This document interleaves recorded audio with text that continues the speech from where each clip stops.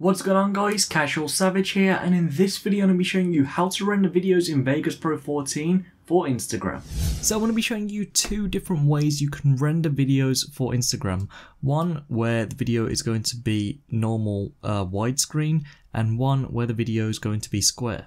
So the first one I'll be showing you is where the video is widescreen. So come up to Project Video Properties. Now you need to change the width to 640. You need to change the height to 360. You want to make sure the pixel aspect ratio is set to 1 so it says square there. For the frame rate you can stay at 30 FPS however I'm going to stick to 24 frames. And then everything else here you can leave the same just simply select apply and OK.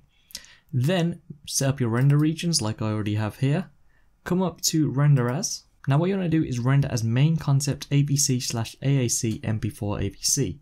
Select this arrow. So as you can see, this one right here, which says Apple iPad iPhone 4 720p 30 video, we're going to select customize template. So the first thing for the frame size, we're going to select it and select custom frame size. So remember we picked 640 by 360.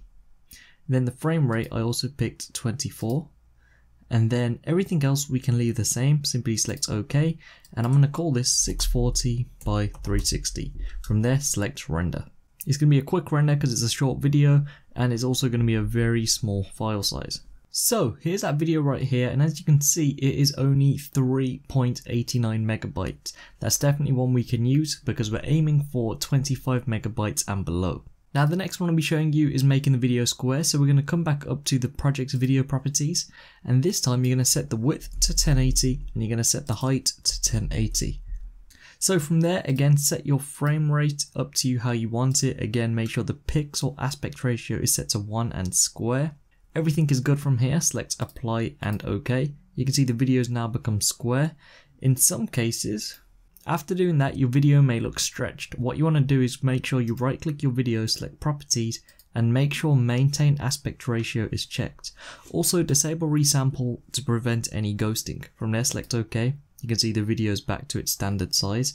And now we have these two black bars which gives us space to put some text. So I'm going to right click, insert another video track, right click, insert another video track. I'm going to add text at the top and the bottom.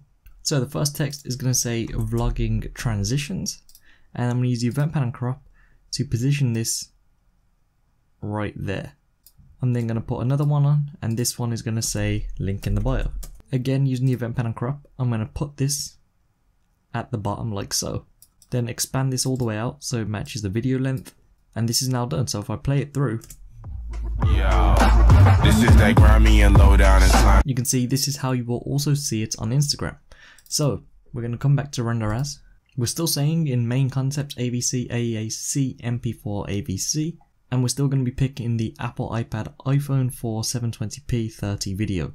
Select customize template. For the frame size, we're going to select custom frame size and we're going to put 1080 width and 1080 height. And then for the frame rate, again, make sure you match it. So I picked 24 frames. Pixel aspect ratio is at 1. I'm going to select OK. And I'm going to call this 1080 by 1080 and render. So you can see that is now rendered out. If I come back to that folder where the videos are, you can see here it is right here, 1080 by 1080, and it's only uh, 4.6 megabytes, under 25 by a large. So if I right click, select properties, come to the details, you can see it's rendered in 1080 by 1080 at 24 FPS.